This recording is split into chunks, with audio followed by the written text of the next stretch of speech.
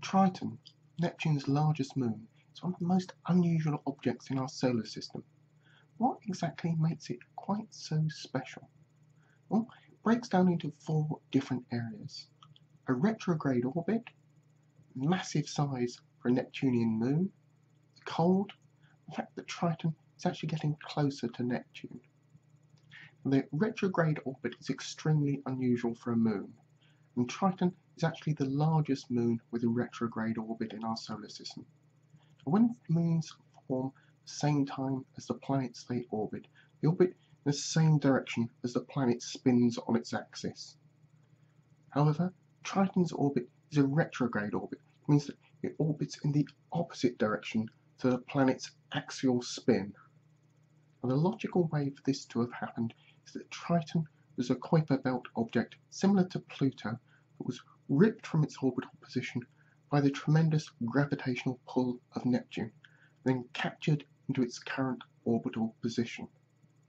This is backed up by the unusual size of Triton, which makes up over 99% of all the mass of the 13 moons orbiting Neptune.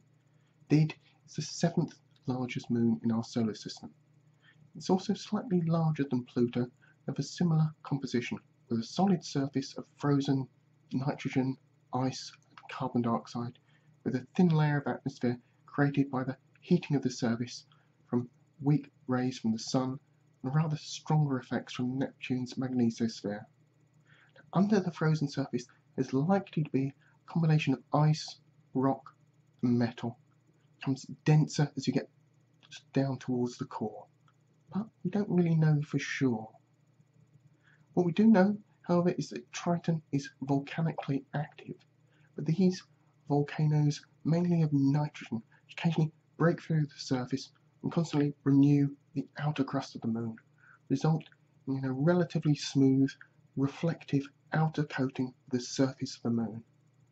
Leads us neatly onto Triton's temperature, with the shiny frozen surface of Triton results in something called the albedo effect, where what little of the sun's radiation reaches the surface of Triton is then immediately bounced back into space, much the same way as the polar ice caps on Earth work, except the amount reflected may be anywhere from two thirds to even nine tenths of the solar radiation being reflected back into space, far more than frozen sea ice on Earth actually reflects.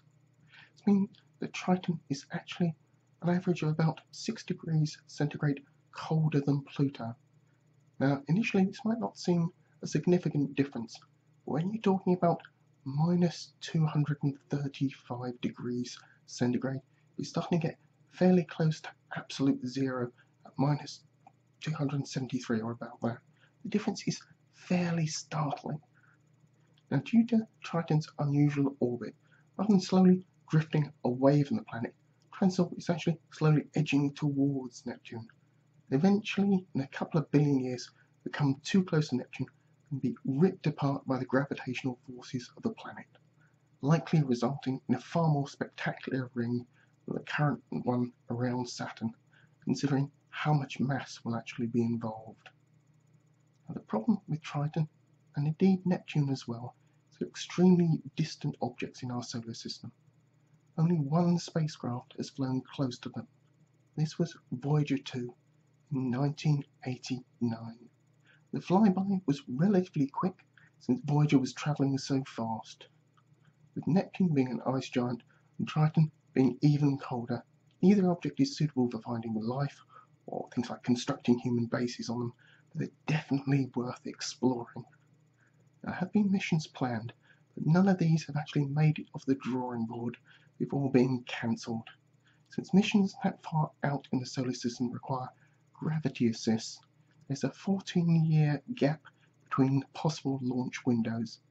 If a mission isn't launched between now and 2019, we'll have to wait till at least 2031 when the window opens again, which means the flyby wouldn't occur till about 2043, which is a long time to wait to have some of the uncertainties about Triton actually resolved once and for all.